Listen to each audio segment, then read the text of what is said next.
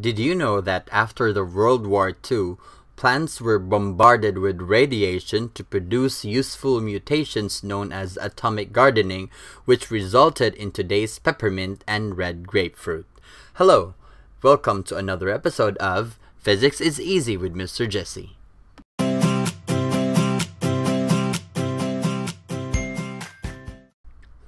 This tutorial is on Chapter 29, Section 3, Radioactivity. So atoms undergo radioactive decay to become stable. In this lesson, we are going to look into the mathematical part of radioactivity. Hence, this tutorial will cover the following objectives. Define and calculate the decay rate, the decay constant, the number of present nuclei, and the half-life of a radioactive sample. The first concept that involves computation for this lesson is the decay rate.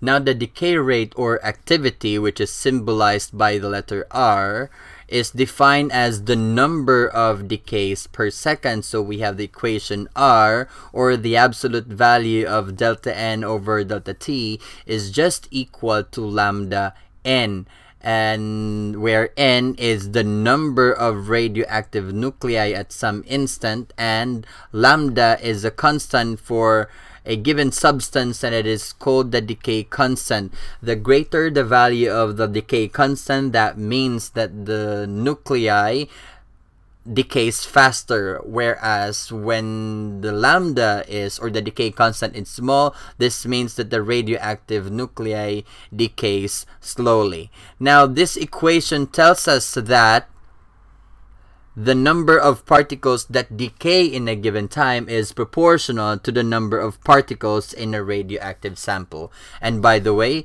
the unit of lambda is decays per second. Once again, this is the equation for the decay rate.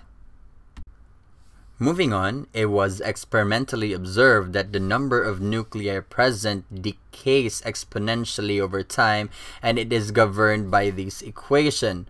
So we have n is equal to n sub naught e raised to the power of negative lambda t, where n is the number of radioactive nuclei present at a specific time t, and n sub 0 is the initial number of nuclei. e is 2.718, which is the base of natural logarithms, and our lambda over here is still the decay constant. Moving on, manipulating the previous equation n is equal to negative n sub 0 e raised to the power of negative lambda t would lead us to another very important concept in nuclear physics which is called half-life. Now the half-life or denoted by a symbol T sub 1 half of a radioactive substance is the time required for half of a given number of radioactive nuclei to decay. The half-life is related to the decay constant lambda by the equation half-life is equal to uh, ln2 divided by the decay constant and ln2 is approximately equal to 0.693 so we have half-life would be equal to 0.693 divided by the decay constant. And the unit of half-life is seconds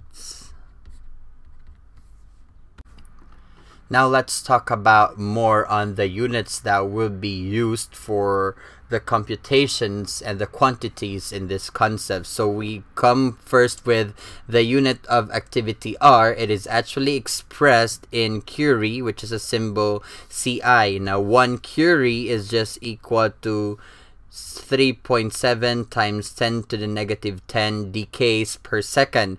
The unit was selected as the original activity unit because it is the approximate unit of 1 gram of radium.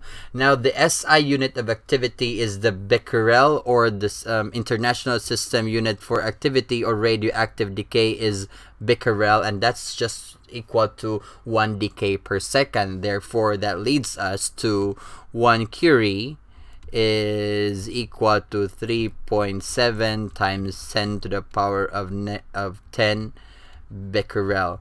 The most common units used in the activity are millicurie, or 10 to the power of negative 3, and microcurie, which is 10 to the power of um, negative 6. So millicurie may be symbolized as MCI. This is millicurie, whereas microcurie would be uh, micro CI. That is microcurie. At this point, I need you to go to WebAssign and do the task entitled Radioactivity. That concludes this tutorial. Once again, always remember, physics is easy with Mr. Jesse.